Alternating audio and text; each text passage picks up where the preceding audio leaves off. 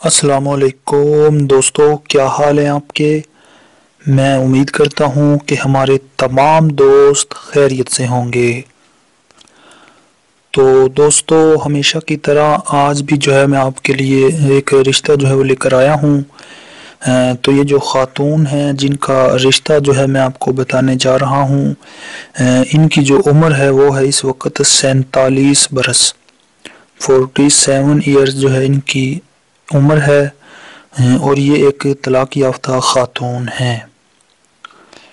तो अपने जो है, शोहर से लहदा हुए, जो है, इनको तकरीबन चार साल का अरसा हो चुका है, इनकी दो बेटियाँ और एक बेटा भी है, और वो तीनों बच्चे जो हैं, अपने जो हैं, वालिद साहब के पास रहते हैं। यानी कि इनके पहले शोहर के पास ही रहते हैं। इनका नाम जो है सईदा बीबी है। सईदा बीबी जो है इनकी जो तालीम है, ये मैट्रिक पास हैं, दस जमात यानी कि पास हैं। तो मुसलमान हैं, फ़िरका जो है इनका वो सुन्नी है। इसके अलावा जो है चार साल हो गए इनको अपने पहले शोहर से अलहदा हुए। अलहदगी की जो है असल वजह जो है वो मैं आपको बता दूँ। कि इनके जो शोहर थे, उन्होंने जो है दूसरी जो है किसी और ख़ातून से जो है वो शादी करना चाहते थे। तो ये जो है नहीं चाहती थी कि वो उनसे शादी करें, लेकिन जो है इनके शोहर ने इनकी नहीं मानी और इनको जो है छोड़ दिया और ख़ुद जो है दूसरी एक और ख़ातून से जो है शादी कर ली। तो अभी जो है ये सईदा बीबी जो है अपने जो है भाई, यानी कि वालदेन का तो इंतकाल हो गया है, अपने बहन भाइयों के साथ जो है रहती हैं कराची सिटी में।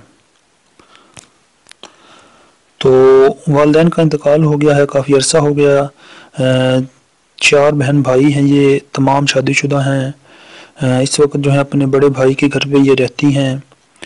तो जिनका नाम है मोहम्मद अनवर साहब तो सईदा बीबी जो है, इनकी हाइट जो है पाँच फुट एक इंच है, ख़ूबसूरत हैं, अच्छी फैमिली से हैं, मुसलमान हैं, फ़िरका सुन्नी है। इनकी जो कास्ट है, ये राना बरदरी से इनका ताल्लुक़ है। तो इनके जो भाई हैं, मोहम्मद अनवर साहब, वो चाहते हैं कि अपनी बहन की दोबारा से वो शादी कर दें, ताकि ये जो है अपनी ज़िंदगी जो है दोबारा से शुरू कर सके। तो सईदा जो है, ख़ुद भी यही चाहती हैं कि दोबारा से शादी कर लें, ताकि जो है अपने भाई पर जो है किसी किस्म का बोझ ना बने। तो वो हमारे दोस्त मर्द हजरात जिनकी उम्र साठ साल तक हो, और वो पहली या दूसरी या तीसरी भी शादी करना चाहते हों। और वो शादी के मामले में बिल्कुल सीरियस हों तो बर मेहरबानी वो अपनी तमाम तर तफसीलात के साथ अपना मोबाइल नंबर वीडियो के नीचे कमेंट बॉक्स में लिख दें। हम इंशाल्लाह बहुत जल्द आपसे रबता कर लेंगे। लड़का जो है अच्छे ख़ानदान से होना चाहिए, मुसलमान हो फिर सुन्नी हो। इसके अलावा पाकिस्तान के किसी भी शहर में रहता हो, ज़ात बरदरी जो है कोई भी हो, बस अच्छे ख़ानदान से हो, अच्छे इखलाक का मालिक हो।